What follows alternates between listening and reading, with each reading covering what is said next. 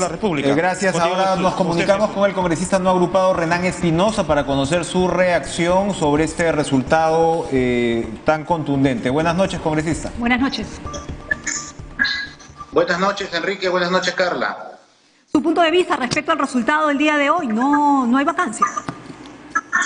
Sí, bueno, eh, hasta hace unos minutos estábamos criticando un poco que demoraban la votación, pero mira, gracias a, a este gran esfuerzo que han hecho los líderes políticos, sus bancadas, aunque un poco renegando, han votado por una decisión que no, no exculpa al presidente de las investigaciones, eso va, va a continuar sin duda alguna, pero no era prudente ir a una vacancia y eh, felizmente con 78 votos en contra, esto ha sido rechazado. Y hay que voltear la página, eh, hay que mirar hacia adelante, menos mal viene una semana de representación, todo esto tiene que volver a la calma y hay que centrar las miradas ahora en función del beneficio de los ciudadanos y eh, hacer un trabajo en conjunto con el Ejecutivo y el Legislativo, ojalá se pueda, porque lo único que nos queda a, tantos, a, a ambos poderes del Estado es trabajar eh, en equipo para poder hacer una, una mejor eh, gestión en lo que queda de estos meses. Ojalá se pueda, dice usted. Precisamente en la mañana el presidente Vizcarra había hecho un par de alusiones durante su breve intervención a trabajar, pues,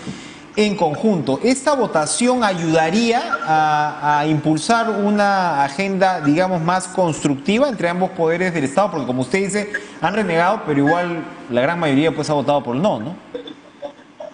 Sí, es que eh, es un mensaje y yo estoy seguro que el, el Premier y el mismo presidente de la República deben darle la lectura adecuada, ¿no? Eh, eh, eh, los, líderes políticos y las bancadas han expresado su disconformidad por todo. Eh, Yo pienso igual, hay mucho por investigar aún, las cosas no están claras, eh, pero no, no correspondía llegar a, a un nivel extremo como es, como es la vacancia. Así que eh, esperemos que realmente haya un trabajo conjunto. Hemos hablado muchas veces de trabajar ambos poderes, pero eh, a veces del dicho al hecho hay bastante trecho. Así Ahora- que es- hay que poner el esfuerzo de todos lados. Señor Espinosa, usted menciona que ojalá la lectura del Ejecutivo sea esa, pero ¿cuál será la lectura de los congresistas, aquellos que se han visto obligados a votar en abstención?